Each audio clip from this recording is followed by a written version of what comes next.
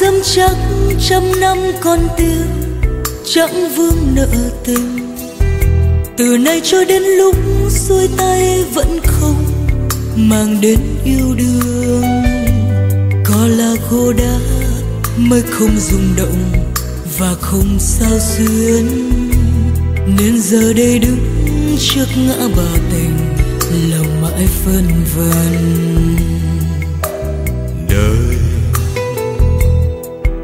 chưa biết yêu đương ra sao, hạnh phúc thế nào.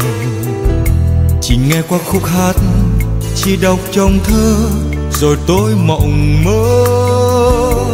Một trời hoa bướm, tiếng chim vui đùa, mừng cho đôi lứa. Có vầng mây trắng, gió mát trong lành, và có đôi ta.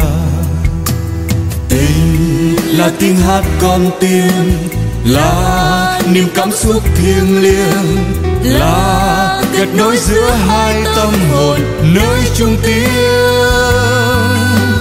Nói sao hết nỗi lòng, tiếng yêu khó vô cùng. Chỉ riêng trái tim mình biết hay không?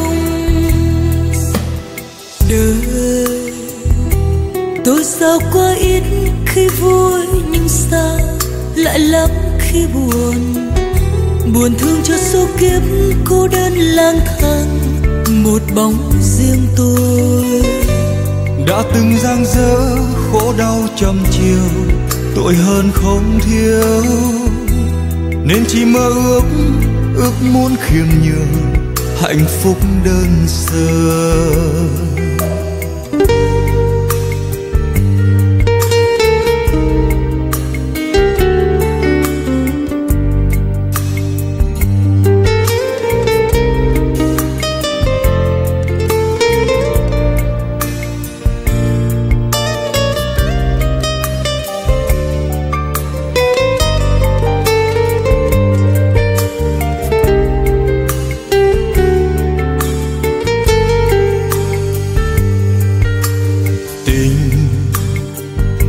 Tình là như thế, mong sao ai kia hiểu thấu cho mình. Dù sao đi nữa, vẫn thấy trong lòng tâm hồn tan nát. Ai từng đau khổ mới biết được tình là như thế đó. Đó là duyên số chẳng trách chỉ đời, chẳng lỗi nơi.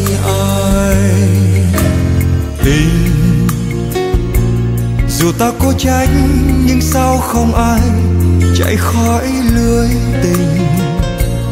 Từ khi sinh ra cất tiếng khóc òa chiều tình đã có.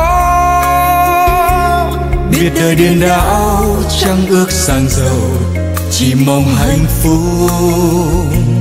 Biết tình oan trái nhưng sao còn người vẫn cứ yêu hoài biết đời điên đảo chẳng ước sang giàu, chỉ mong hạnh phúc.